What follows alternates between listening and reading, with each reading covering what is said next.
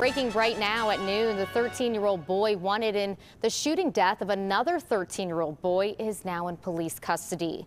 Laquan Rich Cabbage Stalk turned himself into police in the past hour. This all started last night in Clairton in a house on Wilson Avenue.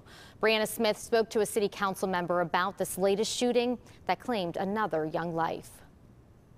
Allegheny County Police say 13-year-old Chase Jones was shot and killed in this house behind me by another 13-year-old boy. A Clairton council member says they need to find a way to put an end to this ongoing youth violence. I don't want the kids to feel like this is normal because it's not.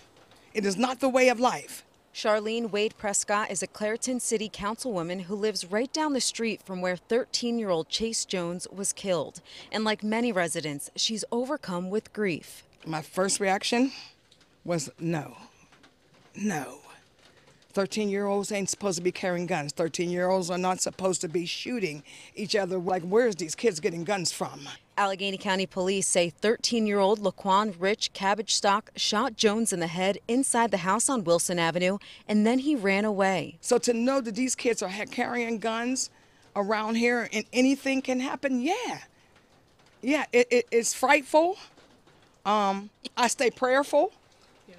Honestly, that God covers my grandchildren and everything, but no, it's not a good feeling. Wade Prescott says she's really concerned about the children in the community and those affected by gun violence. To the families on both sides, it's a tragedy because not only one child is gone, but the other one look at his life. Wade Prescott says they need to act quickly before more lives are taken too soon. There's crime everywhere and everything. Um, um, do we need to implement a curfew? Do you know what I mean? What can we do?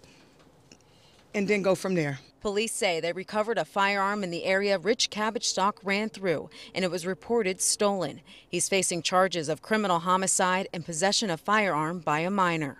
In Clairton, Briana Smith, KDKA News.